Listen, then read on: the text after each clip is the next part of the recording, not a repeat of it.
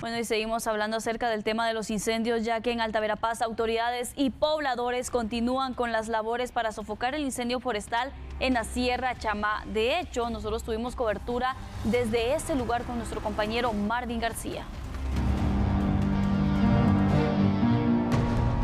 Varios días han transcurrido desde que se originó un incendio forestal en la Sierra Chamá, ubicada en Santa María, Cabón, Alta Verapaz. Esta zona tiene alrededor de 200 kilómetros de largo y es prolongación de la formación montañosa denominada Sierra de los Cuchumatanes y alberga una cantidad de flora y fauna que se ha visto afectada. Desde primeras horas del día, un equipo especializado junto a pobladores se reúne en el Parque Central de Caabón para ascender hacia los focos de los incendios forestales para contener y sofocar las llamas.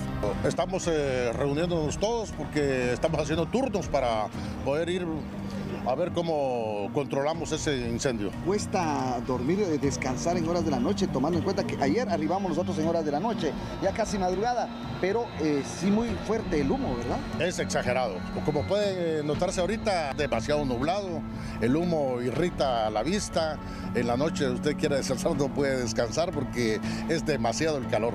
Eh, él se siente bien lo quemado, ¿verdad? Exactamente, sí, sí, sí. Si usted deja algo afuera, cuando regresa ya tiene la ceniza encima.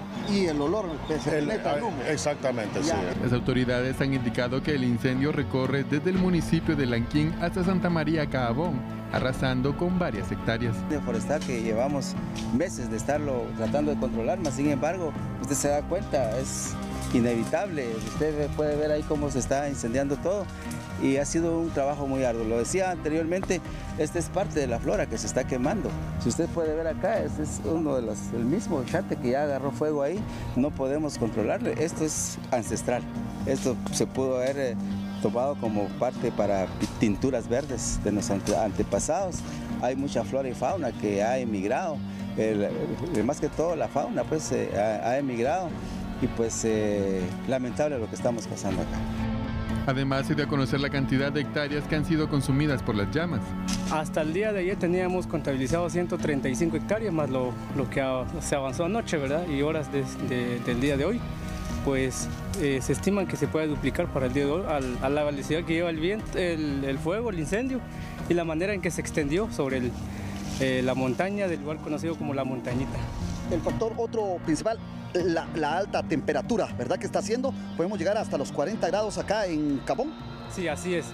Efectivamente, pues últimamente hemos tenido esas temperaturas entre 39, 40 y 41 en los últimos días. Bastante alta la temperatura aquí en el municipio de Cabo. Pese a la velocidad con la que se continúa esparciendo el fuego, los pobladores y las instituciones realizan brechas para evitar la propagación. Sin embargo, las condiciones climáticas no son muy favorecedoras para sofocar el incendio.